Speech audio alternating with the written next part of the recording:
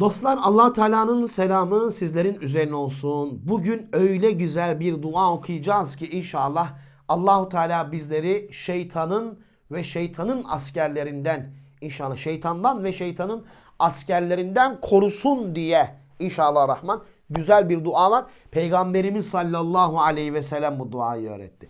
Şeytan insana kötülükleri hocam telkin eder.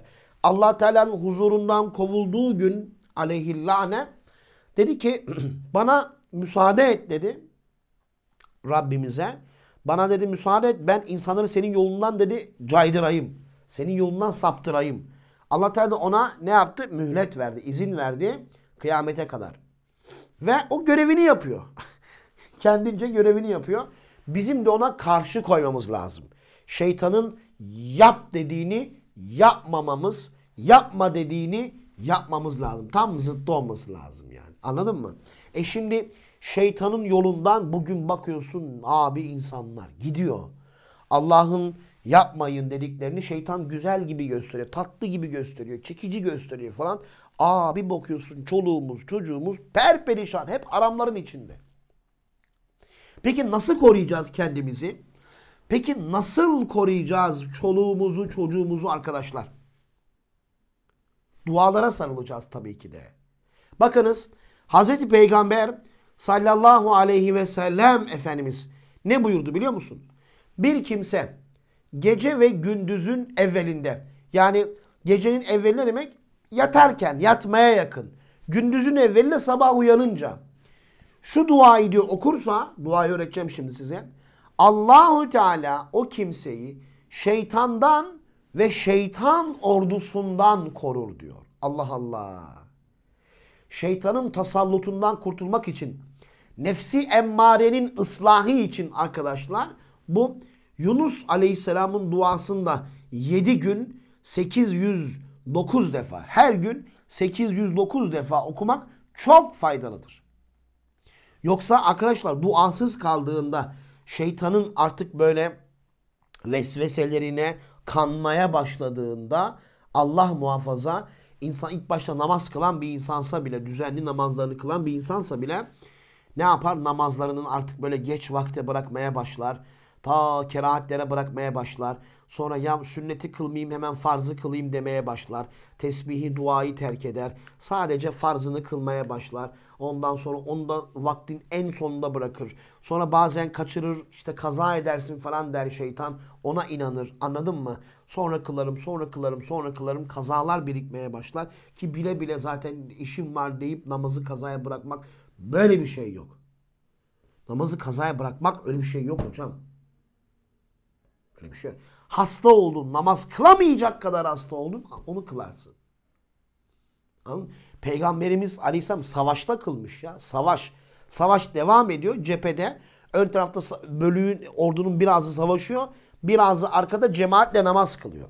Sonra namazını bitirenler öne geçiyor. Onlar savaşa devam ediyor.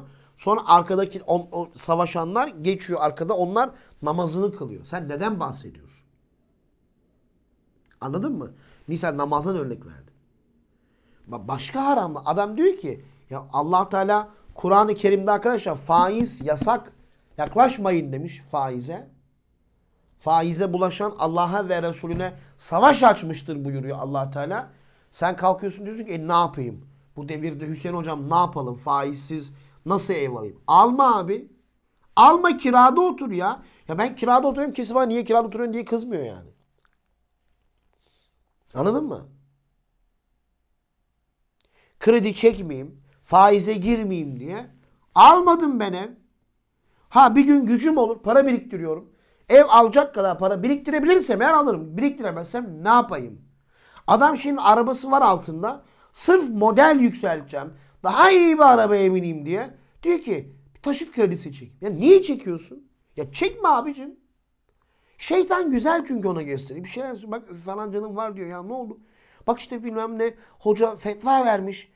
Bir defaya mahsus bir ilk ev için ilk araba arabası hiç yok. Bu devirde ihtiyaçtır demiş falan filan. Biri fetva vermiş.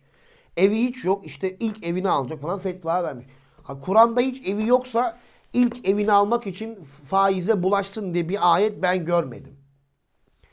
Arkadaşlar arabası hiç yoksa bir bineği yoksa evinin önünde binek ihtiyaçtır. Hani diyeceksin ki hocam Kur'an zamanında peygamberin zamanında araba mı var? Tamam binekten örnek vereyim. Evinin önünde atı, eşeği, devesi yoksa ilk devesini almak için faizle tefeciden işte bilmem kimden birinden para alabilir faizli para. Göster bana bir ayet ya. Anladın mı? Şeytanın askeri oluyorsun. Yapma. Bunun için ben size bir dua söyleyeyim. Bunu okuyun inşallah. Bismillahi zişşan عظيم البرهان شديد السلطان. ما شاء الله كان. أعوذ بالله من الشيطان. بسم الله ذي الشان عظيم البرهان شديد السلطان ما شاء الله كان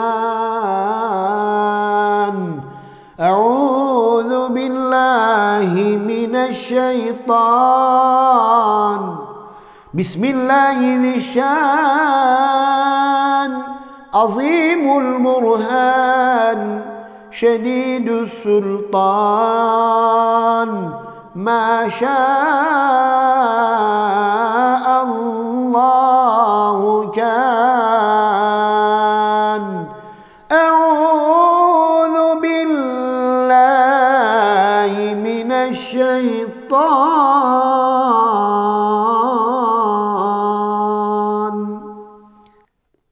Amin. İşte dua bu arkadaşlar.